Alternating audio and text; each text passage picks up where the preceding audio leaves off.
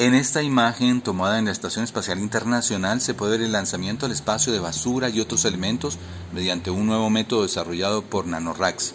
Se trata de un sistema que está siendo probado que consiste en un container que puede llevar decenas de libras de basura facilitando su reingreso a la Tierra y su posterior incineración en el proceso. Este nuevo método es el primero en utilizar un sistema de lanzamiento de las bolsas. La disposición de basura en el espacio no ha sido muy publicitada ni discutida públicamente. Cuatro astronautas pueden generar más de 2.500 kilogramos de basura por año, lo que representa dos contenedores por semana. Explicaron expertos de NanoRacks al señalar que esto puede convertirse en una función crítica para el cada vez mayor número de personas que pueden ser enviadas al espacio.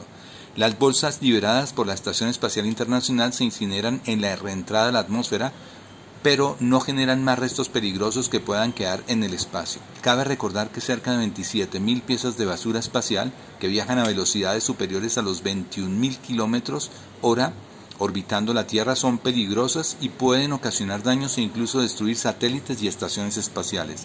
Durante su historia, la Estación Espacial Internacional ha tenido que cambiar su curso cerca de 25 veces para evitar chocar con pedazos de basura espacial que la pondrían en riesgo.